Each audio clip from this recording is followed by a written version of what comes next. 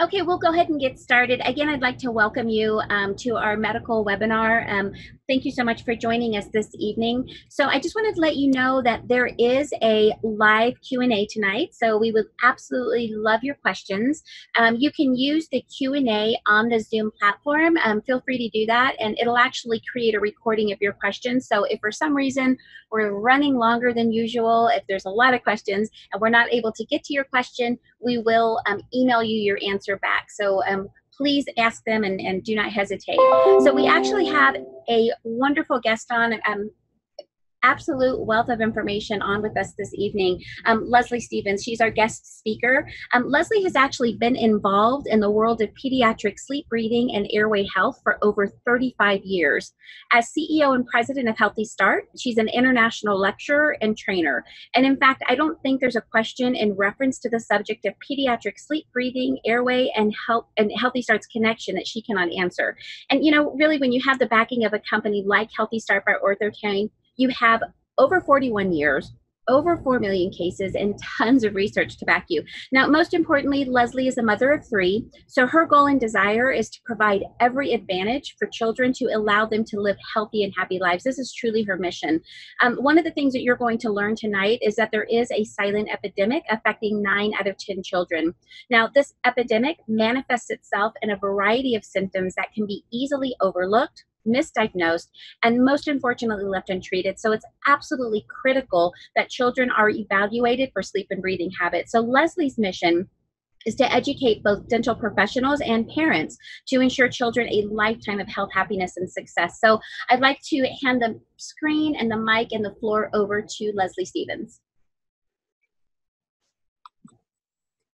Well, thank you so much, Susie, and um, welcome everyone. I'm so glad um, you are here tonight, and I'm looking forward to just spending a little time with you and um, hopefully sharing some really exciting information um, in regard to sleep breathing and the development of the airway.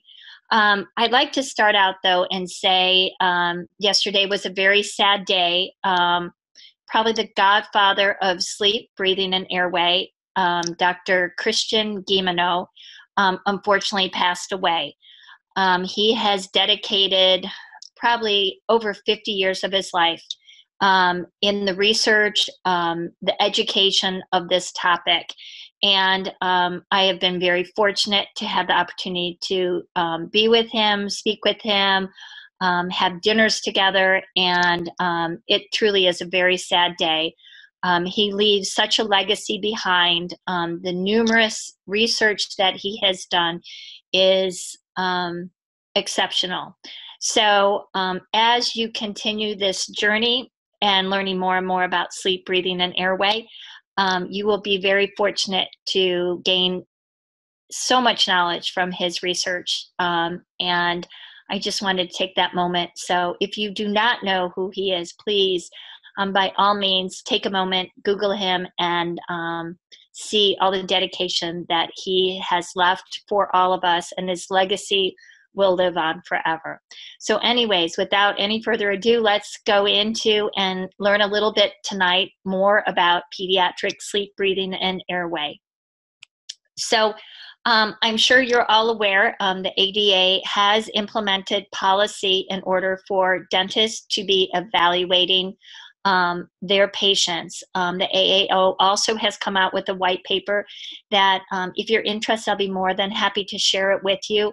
Um, their protocol is a little bit different than the ADA. So let me kind of delve into the ADA because um, if you are a dental professional, and tonight we have a whole array, we have pediatricians, we have sleep physicians, we have dentists, pediatric dentists, and orthodontists on with us tonight.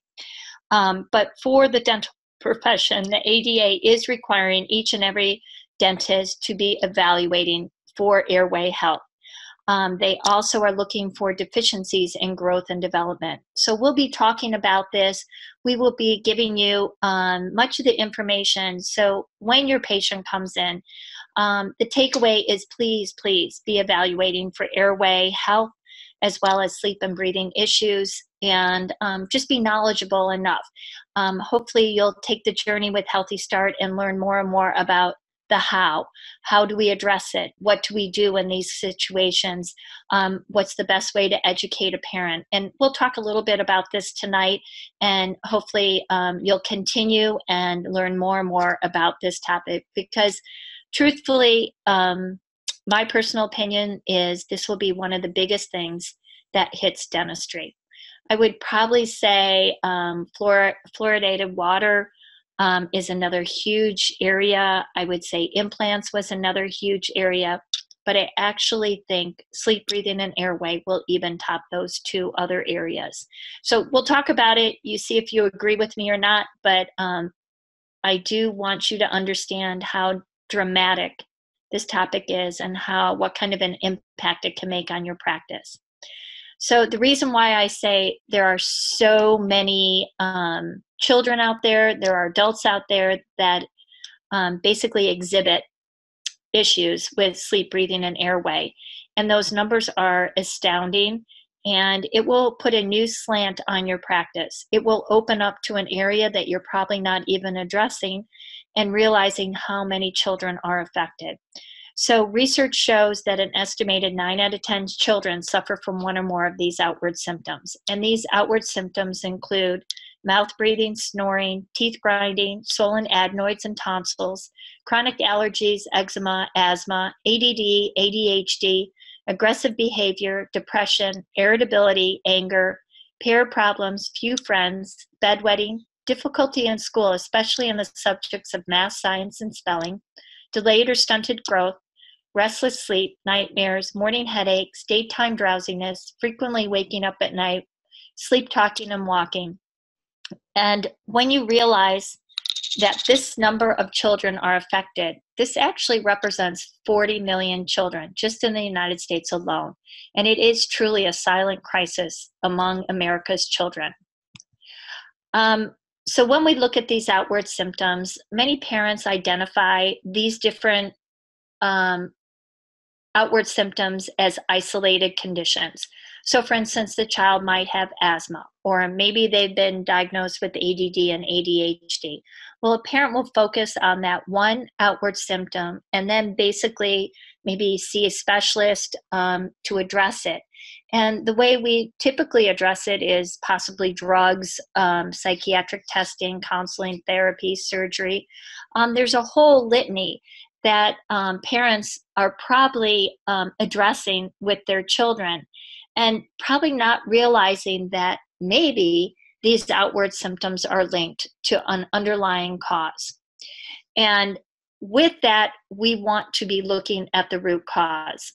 Typically, now, with parents looking at them in isolation, they're typically addressing only the symptoms and they're not addressing the root cause. They tend to be short term band aids. Um, many times, the solution involves several drugs with many side effects. And also, these solutions or band aids, so to speak, can be costly, painful, time consuming, and many times ineffective. So, what is the root cause of these outward symptoms? Well, research over the past 20 years has linked each of these outward symptoms to root causes. And these root causes include mouth breathing, a narrow palate, improper tongue placement, and jaw relationships. So, how do we screen? What would be the easiest way? How do we get started? Where do we begin? So, I always say, first of all, you have a visual agenda that you can evaluate a child. So, even if a child's in your office and they're coming into the operatory, you can evaluate so many different areas of deficiency. So, for instance, look at the child on the left. Um, I, I, think initially we all look at those circles under her eyes. Um, we also should look at how the head is positioned. It's positioned in a forward direction, typically indicating a child is trying to reposition their head in order to gain more oxygen or increase that airway. If you look at the little boy on the right, again, look at the dark circles under their eyes, but also look at how the mouth is positioned. You'll see that the lips are separated, um, and we would tend to estimate that this child is probably a mouth breather. You'll also know, notice how the chin and the neck kind of appear to be almost a double chin. The child looks rather heavy when in actuality he is not heavy. It's just the lack of growth and development in that lower third of the face. We also can look at the profiles, which really give us an indication of deficiency of growth. So if we take a straight line from the forehead all the way down, we can see where that deficiency lies. Look at the deficiency of that lower jaw. The mandible is far from in the forward direction as it should be. Look how the lips are separated. There's a rolled lip, meaning that lip is interfering with the way that the upper teeth and the lower teeth are joined, meaning that it is retrusive to the lower mandible. If you look at the child on the right, again, look at how that forehead and look at if we draw a line down that forehead where that deficiency lies. And you can see there's much deficiency in the lower third. Again, same situation where there's a rolled tongue. But look at how the chin blends into the neck, almost like a funnel look. So these are all excellent ways to just start assessing what that child is or what you visually can see as clues before we go into the next step, which would be using the initial screening tool of a sleep questionnaire. And the Healthy Start Sleep Questionnaire is exceptional because not only is it going to indicate the different outward symptoms that occur, but it's also going to ask the parent to evaluate the degree of severity from zero to five, five being the most pronounced. So the initial left hand column is exactly that it's the initial um, stage prior to treatment. Um, in a month to two months, we'll have a parent do a follow up where they'll again score where these conditions lie. Um, these are 27 of the most prevalent um, outward symptoms that you will see, but also look at what number 27 is, and that refers to speech problems. Um, we've been learning and um, evaluating more and more about the speech end of it, and I'll tell you, it's quite exciting, and I've learned things I never knew um, when I when we look at the speech problems, um, there are certain um, situations, certain type of um, mispronunciations that occur within a child, and a lot of it stems from where the tongue is positioned. Um, many consonants require the positioning of the tongue to be in the palate in order to make those sounds. Some of the sounds require lip seal.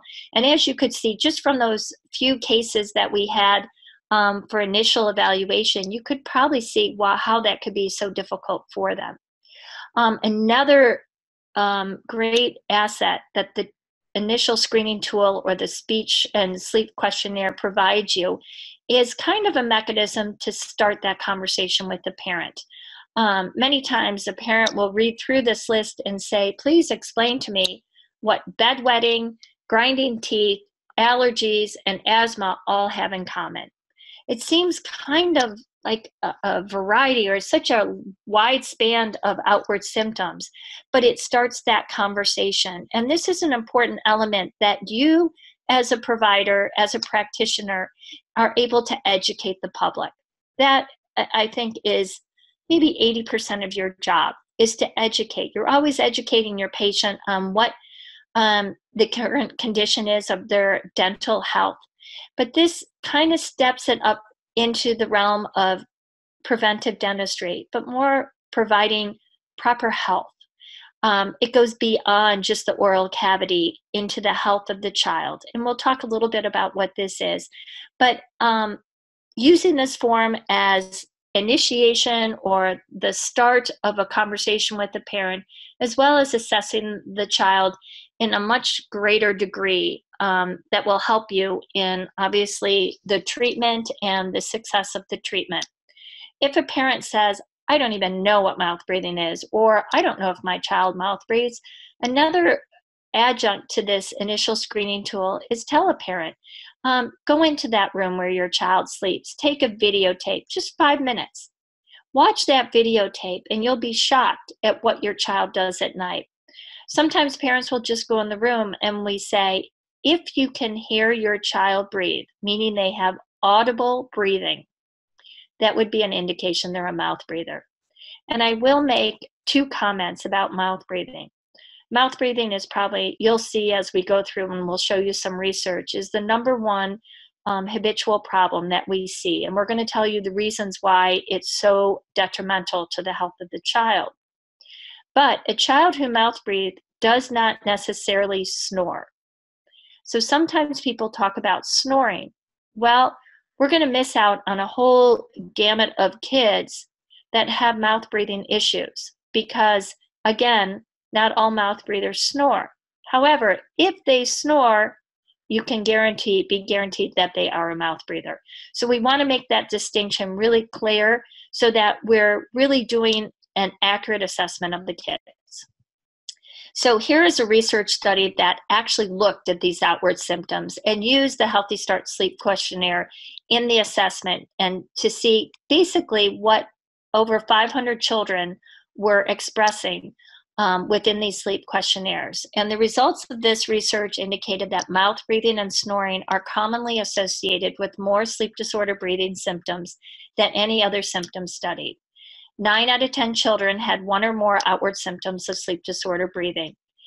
60% of the sample had four or more outward symptoms.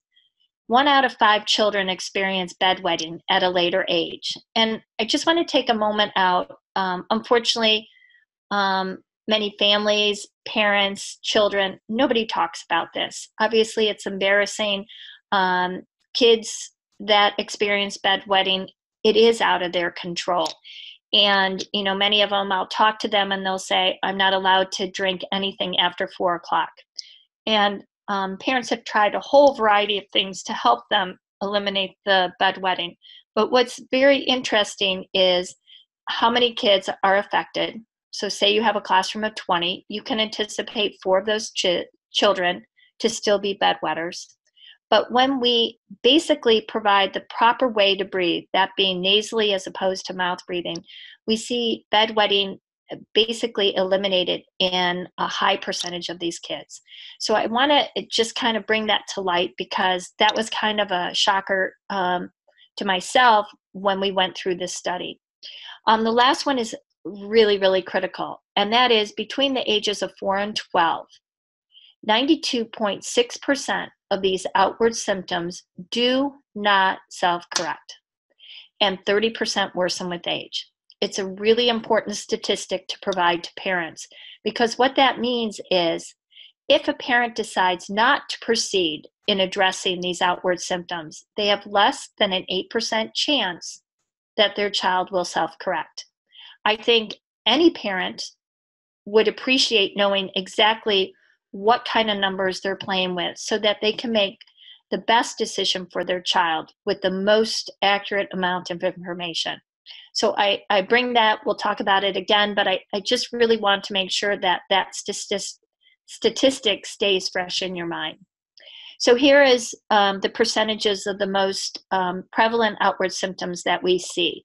And as you can see, mouth breathing is 40 represents 43% of this study. Now, again, why is mouth breathing so bad? Well, just by opening our mouth by a half an inch when we sleep, we basically eliminate six millimeters of the airway. And if we looked at a seven year old, well, guess what? A seven year old has a seven millimeter airway. So that means that just by mouth breathing, we've eliminated six millimeters, leaving that child with one millimeter of airway to breathe through during the night. Is that enough? Absolutely not. So let me bring up another question. What requires oxygen? That would be REM sleep.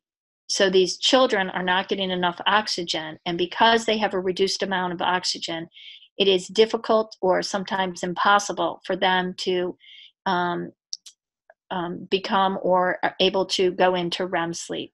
So, obviously, with um, the lack of REM sleep, the reparative sleep that we need, we have a whole long list of other symptoms um, that occur. And that has to do with basically how the body operates. The body becomes imbalanced and it can affect neurological, endocrine, um, immune system, hormonal system, um, because that reparative sleep has not been obtained by those patients. What other things do we see associated with mouth breathing? Well, we'll typically see eight other outward symptoms. So these outward symptoms can include snoring, um, 53.4%, difficulty listening often interrupts, talks while sleeping, allergic symptoms, fidgets with their hands, restless sleep, teeth grinding, feels sleepy or irritable during the day. Um, so the implications are these findings show that sleep disorder breathing is much more common and affects children even as young as two years of age. Begin treatment as early as possible to ensure permanent changes. Identify outward symptoms displayed in 90% of the children that enter your practice can significantly reduce this epidemic and enable you to successfully treat the overall health of your patients. So let's talk a little bit about airway and addressing the habitual air issues and why this is so critical. Um, as we had talked about, mouth breathing basically reduces the airway. Um, we find that if a child is reducing their airway, say to a millimeter, it's similar to what it is to breathe through a coffee stir. I don't know if you've ever tried it. Um, I actually tested it out myself. I was going to spend the entire day trying to breathe through a coffee stir so I could experience what these kids are experiencing during night. So um, I think I lasted about 10 minutes, um, maybe 12, but not too much longer than that. And I'll tell you, I had the most massive headache I've ever had. Now, I tried to um, take Excedrin, I tried to eat, I could not get rid of that headache. And it wasn't until the night that I went to sleep and woke up in the morning that that headache um, basically subsided. But what made me think is can you imagine those kids that each and every night mouth breathe and have that experience of basically breathing through a coffee stir and the headache that results, that they can't get rid of it um, many of them probably don't even know how to verbalize it because it's been a part of their life. And maybe they think that is just an everyday occurrence and that's how it is to operate on a daily basis and overcome what we consider a barrier for them. Now, what are we trying to achieve? We're trying to achieve a garden hose. Um, as you can see, the little girl on the right that's the type of airway we want to create for these kids so that we are providing them with the oxygen they need to basically get into REM sleep and the reparative sleep that's necessary in order for the body to function properly as nature intended it to do so. So, this is what we're gauging at. Um, sometimes parents have kind of a hard time figuring out well, what exactly is six millimeters and what is seven millimeters? It sounds pretty small to me. So, um, in the brochures, you'll see this image, and yes, the boy looks rather silly, but the images are really important from the idea of on the right hand side, look at this dot. This actually represents a seven millimeter diameter airway. And that's what we anticipate for a seven year old. What is the age of this little boy? Now, remember, we talked about mouth breathing reducing six millimeters and leaving the child with one millimeter of airway. So take a look at what this is to what this becomes with mouth breathing. Um, to be really honest, that looks like the size of a pin. Um, obviously, it's not enough oxygen, and you can see how difficult it is. So, as a parent, it's really good to have those visual cues. So, kind of understand what's going on and the impact it's having on their child. Um, typically, parents will ask, Well, how is this becoming such an epidemic? What is going on that's changing um, the ability of children to develop and the habits that are created? Well, it's associated with pro- prolonged use of pacifiers, um, prolonged use of nipple bottles, um, lack of breastfeeding, and soft diet. Um, the reason being, well, let's face it, most parents or most families have two parents that work. It is extremely difficult for a mother to be able to breastfeed for the two years that typically we would anticipate or we would hope for. Um, many parents will say, Well, I wasn't able to breastfeed, but I was able to pump, and the baby did receive breast milk. And that's great. But again, it's the vehicle that we delivered that milk that becomes a problem.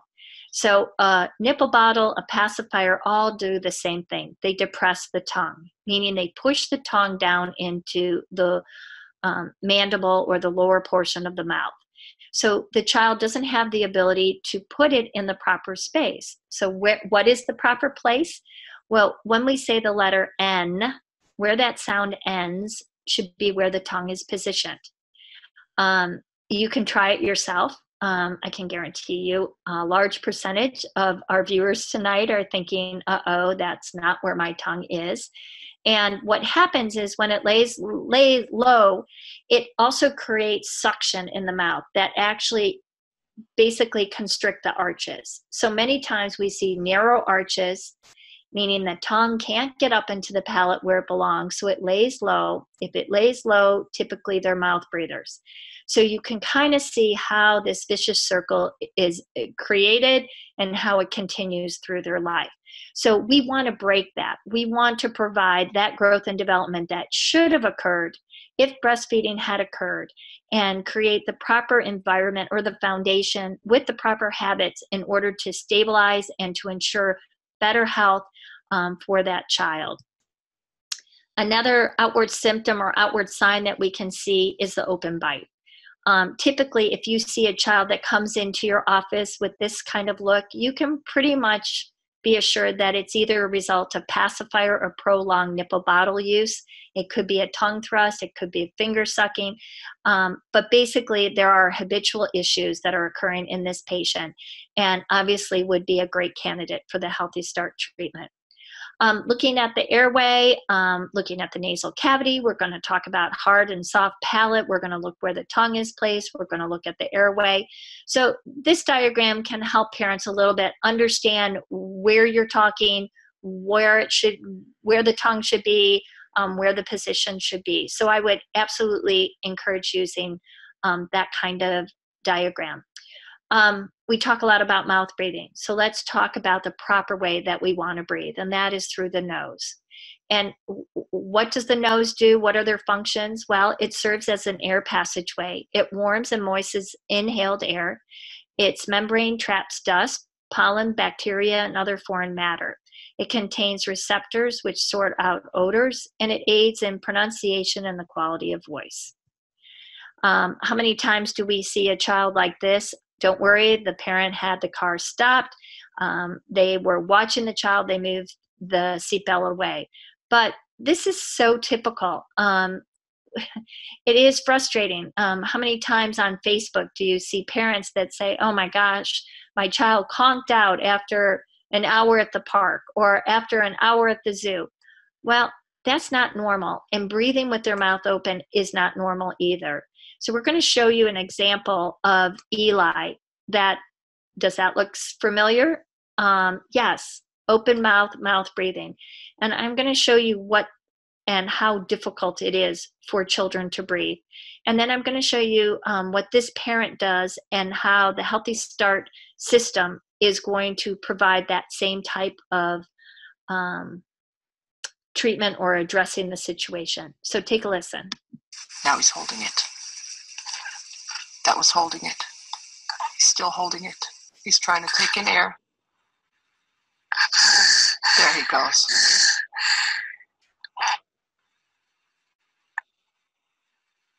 Now watch. He's holding it. He's holding it. He's holding it. He's holding it. He's still holding his breath, and he's going to gulp again. There he goes. That was it again. And it's holding, it's holding, try, there he goes.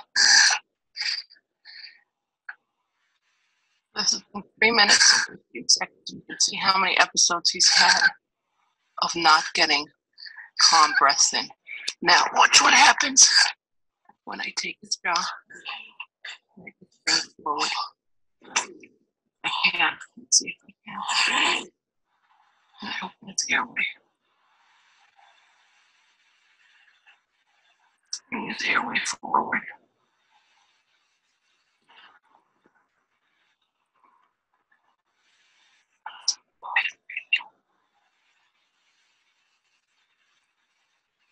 There we go. Now he's ready for his mouth.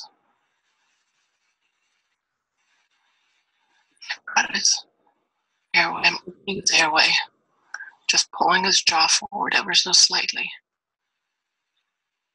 And now he's breathing through his nose quietly. His mouth is a little bit open, but he's breathing through his nose. This way. Here, I leave you don't hear him anymore.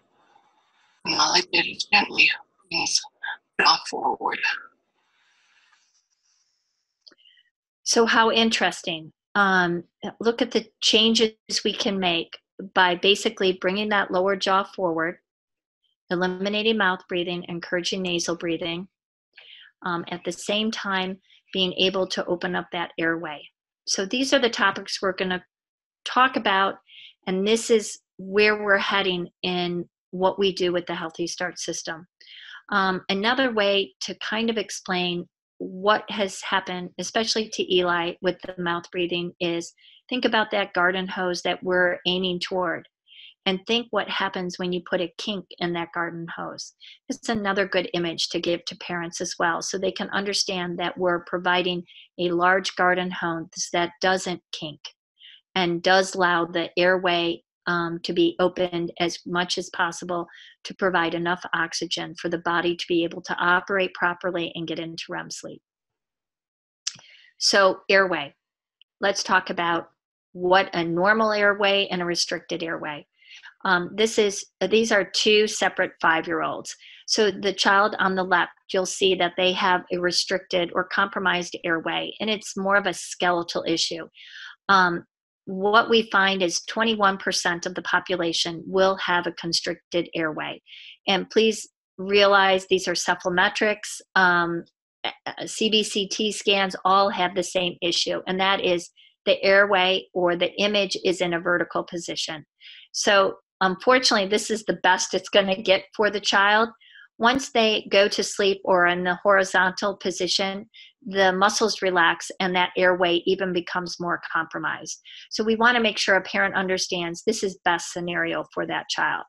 So obviously the image on the left is a constricted um, airway and the image on the right is a normal airway, which we would hope to see. But now looks what's happened that here is the same five-year-old and the image on the left is a normal airway but look what happens when they mouth breathe just by opening up their mouth. Remember, we talked about reducing the airway by six millimeters, and you can see the impact that it makes. So, a parent, even though they say, Isn't it great? My child has a normal airway. Well, that doesn't get you out of the ballpark because habitual issues play such an important and unfortunately detrimental effect to um, the ability for that child to breathe normally. Um, cephalometrics, we don't need them in the Healthy Start system. Obviously, if you have the ability to do that, that's great. Um, again, it's just another tool, another um, area that we can share with parents. This is an image of a CBCT scan, and this is actually a case that was treated with the Healthy Start system. And the image on the left is basically the initial image that was taken, again, a CBCT scan in a vertical position. Typically, the way we look at average airways is we take the age of the child starting at five, multiply it by 10. So this child happens to be a nine year old, which we would anticipate nine times 10, a 90 square millimeter airway. Obviously, you can see the child is compromised. Um, the airway measured 53.6. Now, we inserted the habit corrector. They wore it at night for one month. And we took a second CBCT scan with the appliance in the mouth to see what kind of increase we would receive in the airway. Now, we actually received 337 square millimeters. Now, that means it increased six times what our initial uh, measurement was of that airway. But let me tell you why this number is so critical. At age 17, the growth and development of our airway peaks, and we would anticipate in that adult to see anywhere from 150 to 170 square millimeters of airway. Bad news is at age 21, our airway starts to deteriorate over the course of a lifetime. So, looking at a number of 337, that's double what we would anticipate seeing as the top number or the top development in an adult, which would be 17 years of age.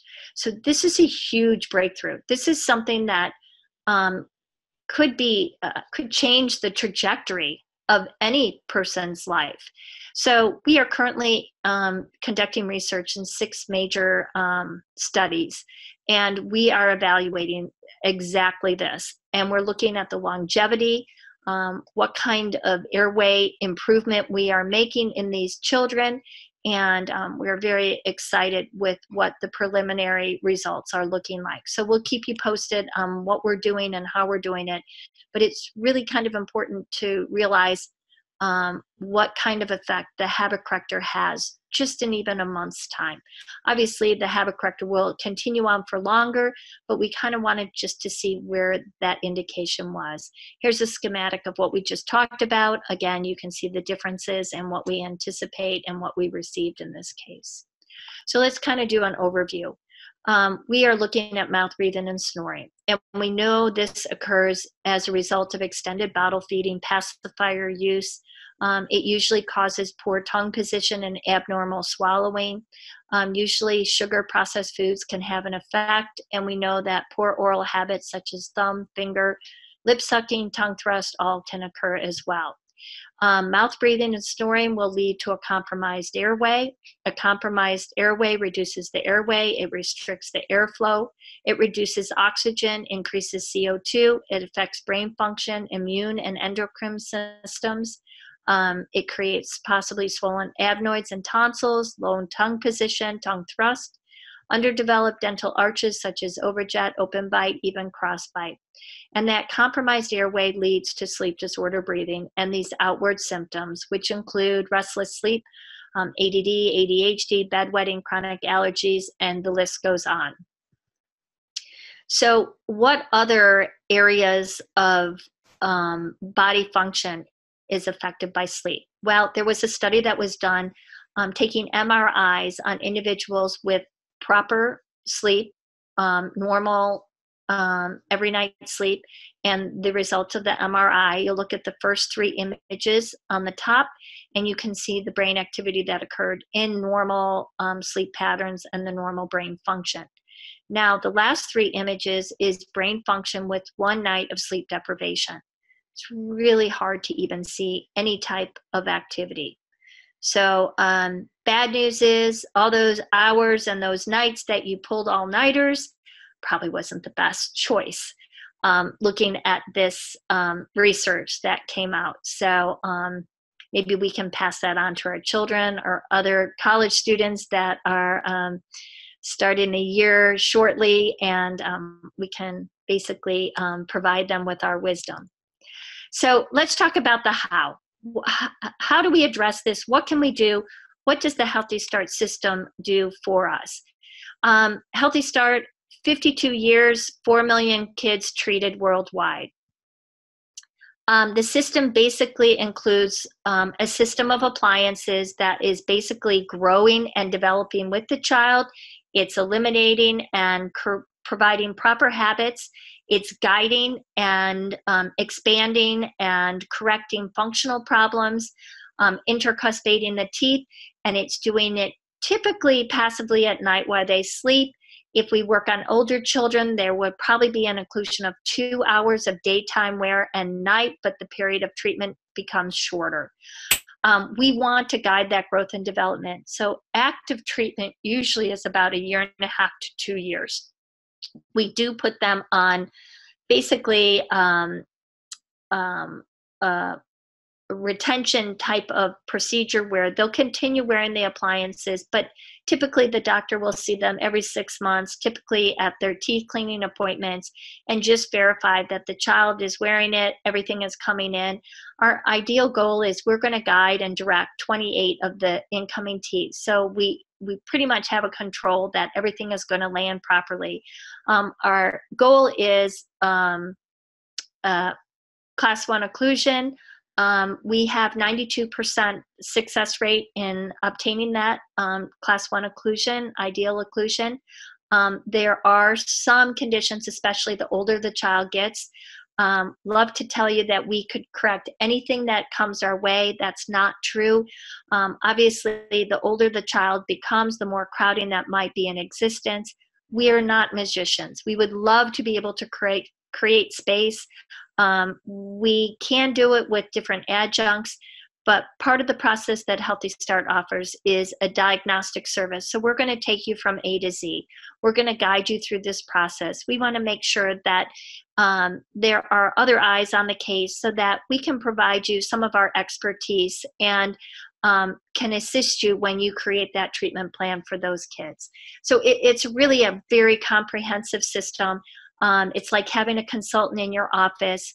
Um, anything we try that's new sometimes can present itself as being more challenging. We do not want that to be the case.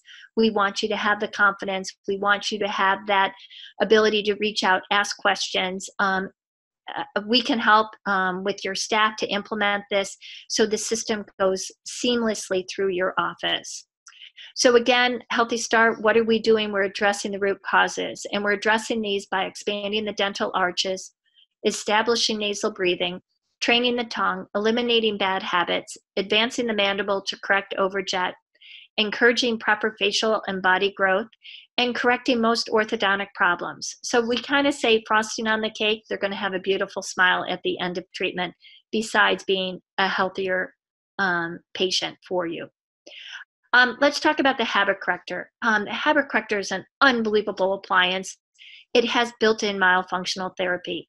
So we basically are able to supply an appliance, have the child sleep with it, and um, through the activation of a swallow, we're going to be able to correct poor habits, create proper habits, start expanding the arches, eliminating mouth breathing, encouraging nasal breathing, um, start working with the advancement of that lower third of the face, all at the same time. It's it's really um, genius, if you want to say. So if you look at the different features of the appliance, you can see there are palatal tabs that's going to start the expansion. Um, we also see prongs that are going to prevent the tongue thrust. Um, we also have a ramp that is built in, so every time the child swallows, the tongue is lifted and placed in the proper position in the upper palate. At the same time, we have these lingual tabs that prevent the lower chin from drifting back. Um, we do offer a pull tab. The pull tab can be used to strengthen the lips. It can also be used to hook onto the night clothes so that if the appliance comes out during the night, it's easy to be found. Um, I will say if a child is a um, habitual mouth breather, and that could be mouth breathing during the day and night, sometimes just at night, it will take them time to be able to um, change the facial muscles and the lip seal in order to hold that appliance in the mouth. Um, we are interested in creating those muscles. We're um, basically encouraging the body to self correct. Um, sometimes doctors say, Oh, I want to make sure it stays in the first night. Um, what can we do? Well, we do have mechanisms to have it stay in at night. But I don't really think we're doing a service to our patients because we're giving them a crutch. I would like to see them themselves be able to hold that appliance in their mouth. So we'll talk a little bit about that. During our courses, we explain some of those um, um, factors, some of those promotions, um, the way we speak to a child, so that we can really help them to be successful with the wear of this. Um, we'll evaluate a child's swallow. Um, sometimes maybe you hear what is the proper swallow. Um, so the easiest way to evaluate is have the child take a glass of water. I would not say, oh, you know what, I want to evaluate your swallow. Why don't you take a glass of water? Just make it flow naturally. Say, wow, um, if you want to, please take a glass of water. You probably had a hard day. And um, when they do that, watch how they swallow. So typically, we want to see only movement in the neck when they're swallowing this water. If we start seeing facial movement, it typically means that they have an improper swallow. So if they take a glass of water and you see this kind of movement in the face, that means they're using other muscles in order to make the swallow because the tongue is not in the right position. So with the habit corrector and the ability to make those changes with that myofunctional therapy built in, again, we said it's activated by a swallow. And at night, when we sleep, we swallow one time a minute. During the day, we swallow two times a minute. So just by wearing the appliance passively at night when a child sleeps, we're repeating that habit almost 500 times each and every night.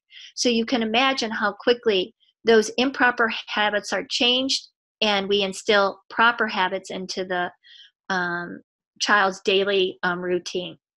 We actually did a study of 220 patients and we wanted to kind of predict. So it's helpful for the doctor to know where do we typically or what is the percentage of correction that we typically see with the habit correctors so these 220 patients wore the appliance for five months and we wanted to see what kind of rate of correction so for instance headaches we found that out of our sample of 220 40 patients had experienced headaches that's 18% out of that 40 patients um, 98% of the cases did have improvement 94% had a mean correction of improvement. Um, the mean correction of the entire sample was 91%, and the percentage of cases with 100% correction was 85%. So you can go through this, and this basically gives you a gauge so parents know what to expect, um, what is going to be the improvements of these different symptoms. I love the conversation about ADD, ADHD, and the comparison to sleep disorder breathing. So, as we all know, ADD and ADHD is a diagnosis that occurs after a list of criteria is met. It is not a blood test, so it's a little bit more difficult to actually identify. Now, what's interesting is the list of criteria that we use to diagnose ADD and ADHD is the same list of criteria we use to diagnose sleep disorder breathing. And um, by looking at sleep disorder breathing, um, we realize what um, the different characteristics, those being outward symptoms and things like that. Now, the current research shows that 85% of the children with ADD and ADHD actually have sleep issues. That's a huge percentage. What is the likelihood that children with ADD and ADHD are misdiagnosed, it's probably quite high. So, always the question or always the suggestion is if you anticipate or suspect a child of having ADD and ADHD behaviors, evaluate sleep first. Go to the root of the cause. We can address that. We can make those changes in that child. Maybe it will be 100% of that ADD or ADHD behavior, or maybe it's a contributing factor. Either way, see where that child ends up and then address what that behavior looks like at that time. Um, there's been studies on ADD and ADHD. One of the largest ones came from uh, Karen Bonuck. Um, she evaluated over 13,000 participants, and she found that sleep disorder breathing increases the risk of ADD and ADHD by at least 50%. ADD and ADHD patients have little or no REM sleep, but they have delta sleep. Patients without ADD and ADHD have primarily REM sleep and delta sleep. In the study that we did of 500 patients, we found that ADHD was present in 25.2% of the cases. Here are some unfortunate um, statistics that have to do with ADD and sleep di- um, disorder breathing in regard to ADD and ADHD. Um, long term effects is 50% of children with a diagnosis of ADD and ADHD are held back one grade, 30% are held back two grades. Well, if it has to do with sleep, you could really hold back that kid 10 grades. It's not going to make a difference because you're still going to be experiencing the same behaviors that you experienced even at the current age or grade level. So, again, evaluate sleep first. Um, also, what was revealed is children that did have sleep issues, it does affect their IQ. We see a reduction in the IQ by 10 to 20 points. And the study even evaluated what an IQ point is worth during the lifetime of a child, and that is $170,000. So these are not great facts. And unfortunately, they are present, but hopefully, um, with the knowledge you're gaining, we will eliminate those t- statistics and create new statistics because of addressing what we hope to be um, the end to an epidemic. So, Healthy Start also promotes growth and development. And um, as we see growth and development, looking at normal craniofacial growth, we know that typically around age 12 is where we see the majority of the craniofacial growth having occurred. Um, that's why we tend to say we work with growth and development up to age 12. When we get past age 12, we still can make changes. Actually, our oldest patient is 84, our youngest patient is um, 13 months. So, if we look at um, children within that age frame, we can really promote and direct growth and development. If you look at this image here, um, you can see where the directional growth occurs, and it is in a forward and down direction. And if we can help implement that and gain the greatest amount of growth that can occur, we can obviously do a huge benefit because it's a lifetime of growth and development that they will be able to enjoy for the rest of their years. Um, here is an example of what I'm talking about in the forward growth and development. You can see the child um, it's the same girl. She's five years of age. You can see, again, take a visual, look at the profile, look at the deficiency of growth. Um, you can see a year and a half later using only the Healthy Start appliances um, passively at night, you can see um, the amount of forward growth. Um, one of the largest studies that was done on the Healthy Start appliances um, found that with the Healthy Start appliances, it does promote 54% more growth and opens the airway. So you can see the dramatic changes that occurred. There are other appliances that we use to help promote that forward growth as well. Um, one of them is called the MAX-A. It's actually a maxillary advancer. That's what it stands for um, it does promote that forward growth. If you can see, the appliance is missing the frontal wall of the appliance. These tabs here are used for the tongue to push against. So it's actually driving that forward arch forward, and the lower part of the position of the appliance is um, promoting or dragging that lower arch again in a forward direction. So here is kind of a a preliminary, the initial one month in progress and um, the current state. And as they gain that forward momentum, they will then continue into the habit corrector and then the following appliances to continue that forward growth, but also guide and develop the incoming dentition. Um, class three conditions as well. Um, obviously, there's a pseudo and a skeletal. Um, we can obviously easily address the pseudo class three. With the skeletal, we can minimize. Obviously, it's difficult to determine um, the amount of skeletal class three that will occur, but if we start earlier, we can minimize what we will see as the class three condition, a skeletal class three condition of that child. Um, the appliance is designed similarly as what we see in um, the MAX-A, except that again, no frontal wall, the tabs used to push that upper arch in a forward direction. But in the lower arch, we're going to have a lip bumper effect because we're stabilizing the lower so we can make that jump. And that jump occurs really quickly in two to four months period of time. So it is a really quick. And once it makes it, it's almost like we restart that growth because obviously that lower arch is impacting the amount and the ability of that upper arch to fully develop once we release that, it seems that the growth continues in a more um, normal fashion. So let's talk about treatment planning. As I said, we will go through the cases with you. So we do uh, typical records for the patient. Um, we're looking at different conditions that we want to address, and this will determine the protocol, um, the series of appliances that will be utilized within that um, treatment plan for that patient. So let's have some fun. Let's look at some cases and see what we can do for these children. Um, you'll see here is a um, young gentleman, um, age seven. Um, I will say that this child did have a tonsil and adenoid removal two months prior. Um, unfortunately, if you look at the sleep questionnaire, um, still a lot of outward symptoms. I, I, think there's 18.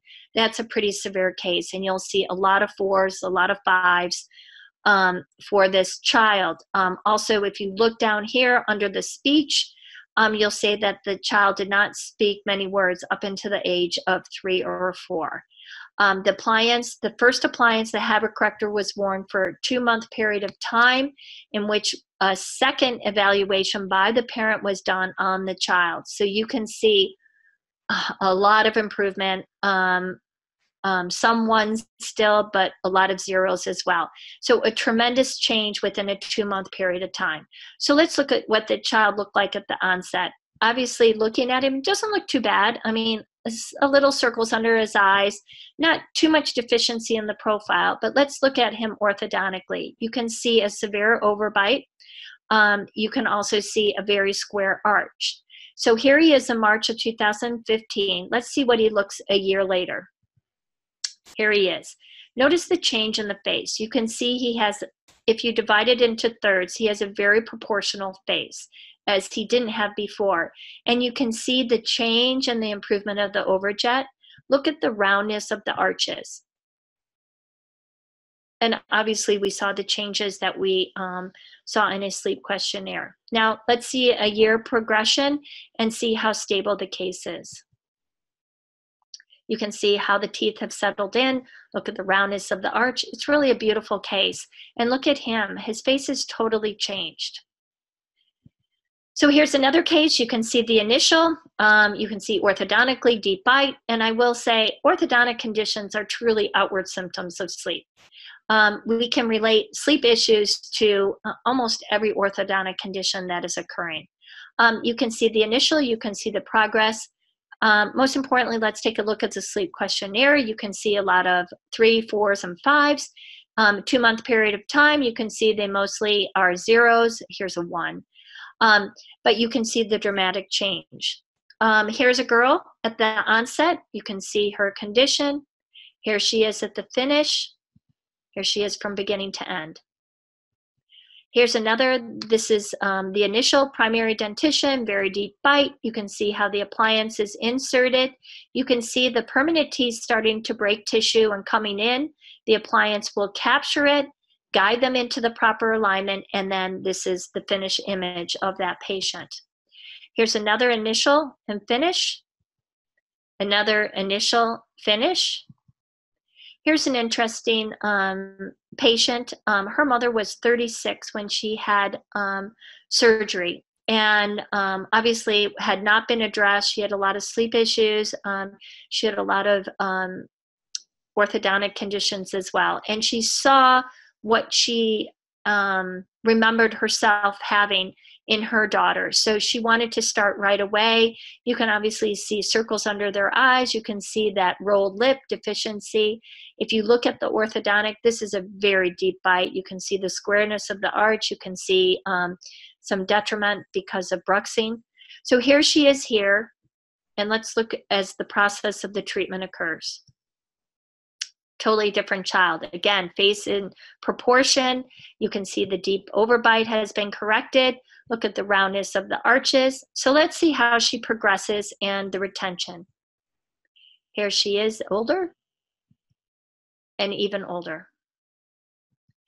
So let's look at some other cases. This one has a numerous snoring, bruxing, bad breath, ear infections. Here he is one year later. Here's another case. Again, you can see um, deep bite. You can see the squareness of the arch. Here they are a year later. Again, you can see two months later the improvement that occurred within the sleep questionnaire. Here's another, had a spectrum of sleep issues, snoring, bruxing. You can see um, deterioration of their teeth. Here they are in mid-treatment. Here's 14 years later and how the case is retained. We do have an app that helps us with compliance. We do expect and we receive 94% cooperation with these children. We make it fun, we make it easy. The appliances are soft and comfortable, and the app is great for the kids. Um, it will monitor um, the amount of wear that they have, whether the appliance is remained in the mouth. It will also prompt a parent to give you real time changes that we see in um, the um, sleep questionnaire um, the child will be rewarded each night. Um, what makes this great is then on Fridays, um, we will supply sleep um, cheek retractors for them. So they will take pictures of um, the child each and every Friday. So it creates a flip book. Now that a parent can have, it can they can share with other parents, family members. But all of this information is also provided within the portal for your view. So before a patient even comes in for their follow-up appointments, you've already have a pretty good idea of what's gone on and how it's progressed. So it's a great tool to use. Um, as we said, we've treated over 4 million cases.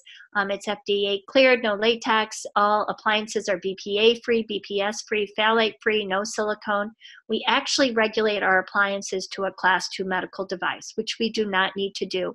But we want you and we want the parents to understand that we treat every patient like they're our own child we want to make sure that we are providing the safest um, appliance that's available on the market for um, those patients. And a class two medical device basically means that that appliance is geared to actually be in the body and be um, safe for that patient. Obviously, we're not going to put it in their body, but it gives you the degree of safety that we do provide for these um, patients. So, anyways, um, I am going to turn the mic over to Susie. Unless we have questions, I'd love to answer anything that um, anyone has to ask. So, Susie. I am here. Yes, thank you so much. So, I am going to, yes, please ask questions. We're, we're here to answer them. Um, I, I do want to tell you guys a little bit about um, the digital education platform that we have. Um, I know that you guys have um, just a ton of, of fantastic information and it's, it's kind of one of those things where once you hear this information you can't unhear it and so um, you know you can't unknow it is i guess is, is what i'm trying to say um, and so now that you look at the kids that are walking across your path and you start noticing these symptoms you know the um, you know you, you know now you know that assessing them is important, but you also know now that there's a treatment that's available. One of the things that we really pride ourselves on is our education platform. So, um, you know, we, we, meet with a lot of different, not just um, dental professionals, but also medical professionals. And one of the things that these medical professionals love about what we do is we have a comprehensive education um, platform that we um, that our doctors ha- go through to become certified to assess and treat these kids. So um, our digital course is actually um, fantastic because I, I like to call it a three-pronged training because it includes not only a digital platform, it includes a hands-on um, training, and it includes a live a live training as well. Um, but to tell you a little bit about our digital pl- platform, it's actually a seven session digital education series. Now, the way that it works is every Monday we email you out a series. Now, the series is about an hour and a half long, and it goes over each of the different subjects. For example, sleep disordered breathing, you know, oral habits, growth and development, and so on. Um, and so you have it about it's about an hour and a half, like I said, and you have the entire week to watch that video series. Now, on Friday, we actually have a live interactive study club. So the interactive study club is great because um, you know the course is fantastic because it actually includes all of your staff members. I mean, we are really um, on board about the fact that we feel like as though every single one of your staff members needs to um, be excited, needs to understand what you're doing, and so we invite all of them to join you on this educational on this journey. So, um, but in the study club, we actually bring specialists on. So we have, of course, certified providers that are trainers and lecturers that are actually on to go over the highlights of the course. But we also bring on specialists, for example, to go over billing, to go over implementation, and all kinds of different things to um, just help this to be the very best experience that it can be for you. Um, so everything is recorded. Um, if you're not able to make it on the study club, it's no big deal. And we record everything and we'll make sure that it's in your inbox to always keep you up to date with what's going on. And we're real hands-on, so you can even email your questions. So if you watch the video series and you have some questions, you can email those questions and we'll even ask them live for you if you know that you're not going to be able to make it on. So we want to make it the best experience that we can. Um, we also invite you to a provider forum. So it's a digital course provider forum where you can actually meet and network with a ton of different doctors and providers who are experienced, who have questions. You know, you learn from each other. They're uploading their cases. You can upload photos there to, you know, ask questions to our trainers that are monitoring the, the forum. So anyway, it's, it's just a really great way to, to network with each other and that's all included.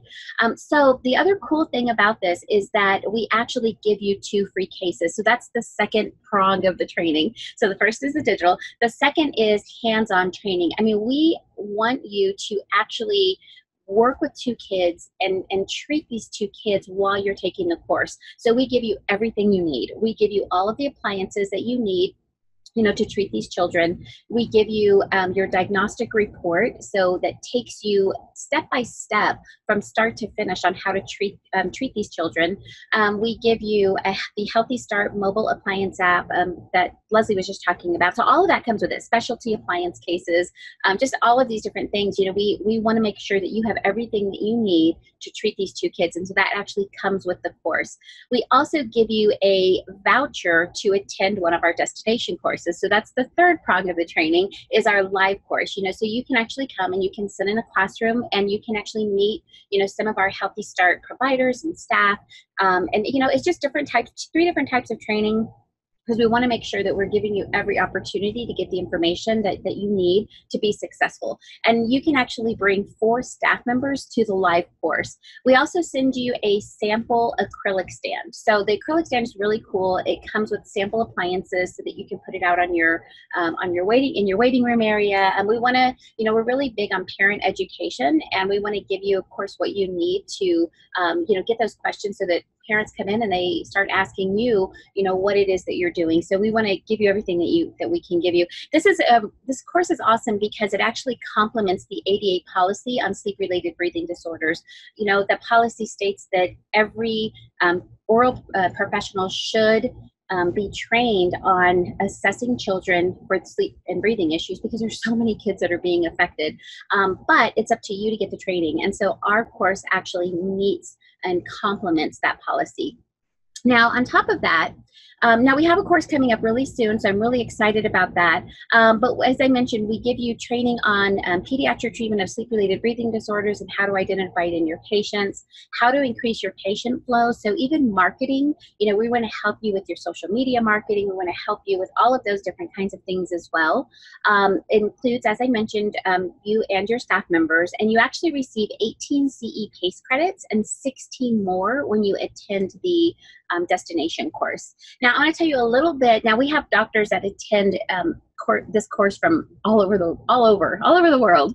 Um, so we had a doctor from Australia who attended, and he said that the digital course was excellent. All at Healthy Start have really got their act together and offer resources others strive for but rarely achieve. Well organized, passionate, and supportive. Doctor from Canada.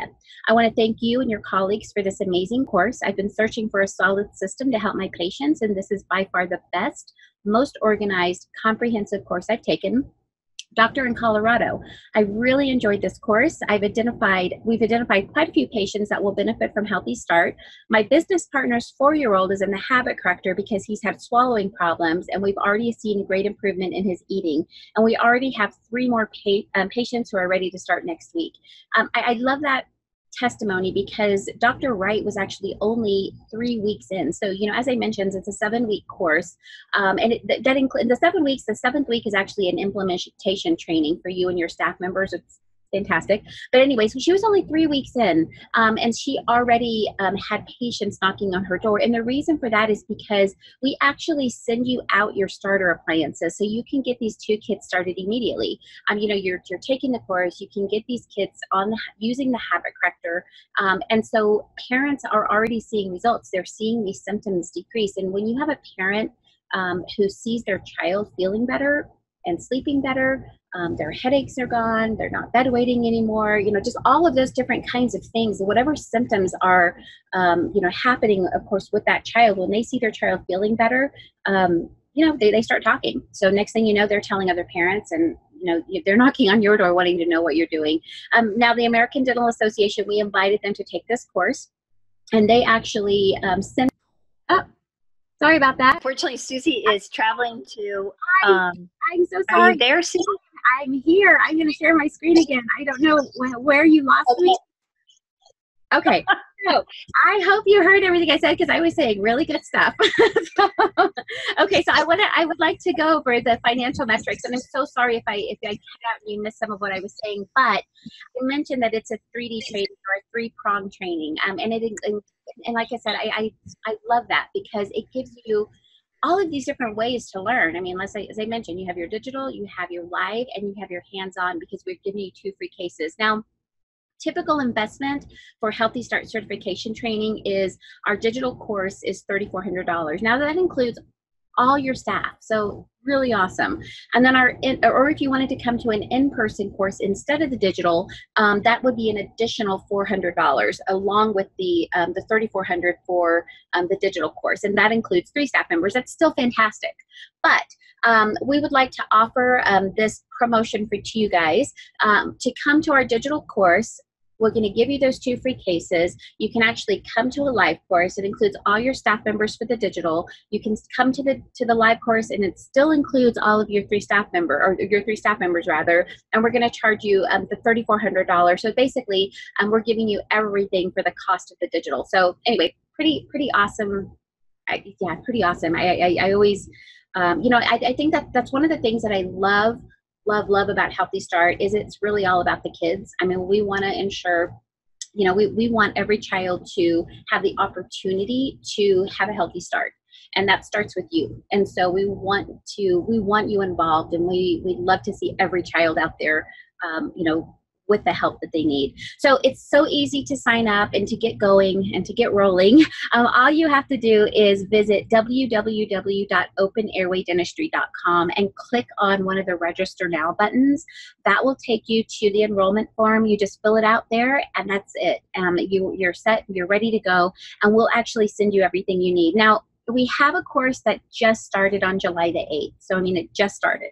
And we can get you caught up on that cor- course immediately. I mean, I sent, we sent out the first series on Monday, um, and we have our first study club on Friday. So, I can get you that hour and a half video, get you caught up, and you'll be ready to go for Friday. So, you can start immediately. We also have a course coming up on September the 2nd as well.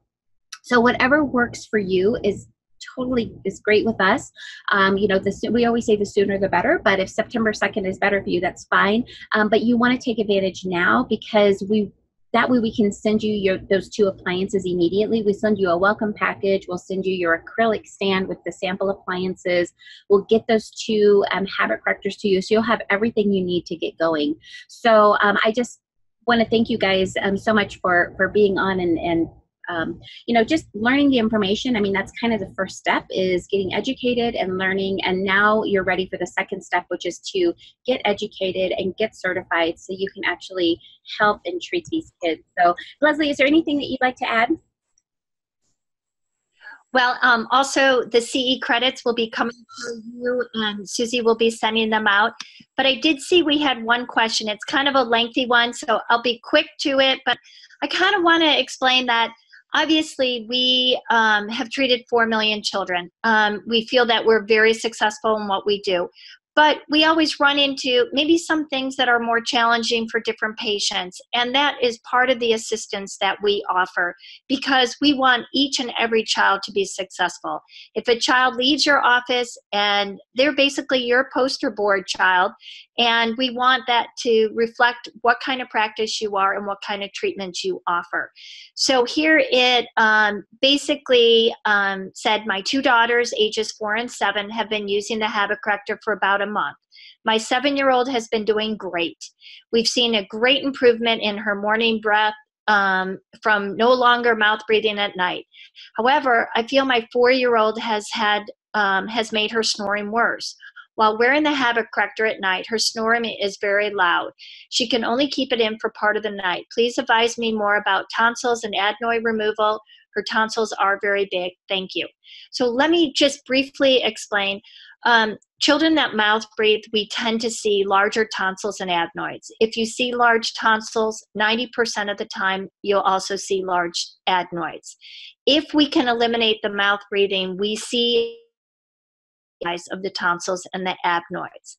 Now, if a child has a very difficult habit to change, which apparently this child must have, especially since we see the appliance coming out during the night, we might suggest them wearing an hour during the day so the body gets used to it. Make that her success. And then we'll work into the nighttime breathing. Now, again, we talked about how we want the body to make that adaptation to hold the appliance in the mouth.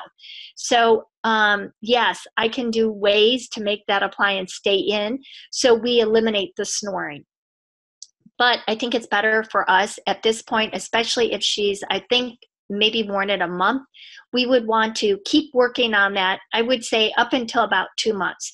But this is a conversation we want you to reach out to us and have. Um, we have implementation specialists that will work with you as well, who can answer these questions as well as our home office. That's what we're here for, and that's what we want to guide you through this. Because let's face it, this is new. This is something that you're going to introduce to your practice. You want to feel confident. You want to feel that if problems arise or you have questions, you have a resource to reach out to. That's what we're here for. Please utilize us. Um, that's what makes the system great.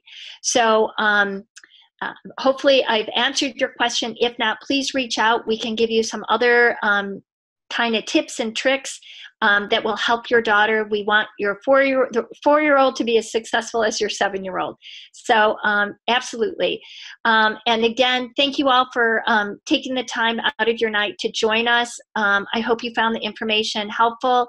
I always say if I can change the um, life of one child tonight, boy, I've done my job. So hopefully, um, with all of you who have been on here today, maybe we've changed a few more than just one child's life tonight. So again, thank you, Susie. Thank you. Um, believe it or not, Susie is on her way, or she is at Yellowstone Park. So there was some distortion in sounds, but um, pretty awesome for being that far away. So again, thank you everyone. Have a wonderful evening. Um, I hope to see you on the digital and thank you Susie as well for always your time and effort. Absolutely. Thank you so much too. And thank you everyone for being joining us tonight. Um, yes, we'll, we'll see you either um, on Friday at the study club or on September the 2nd. Have a great night. Take care everyone. Good night.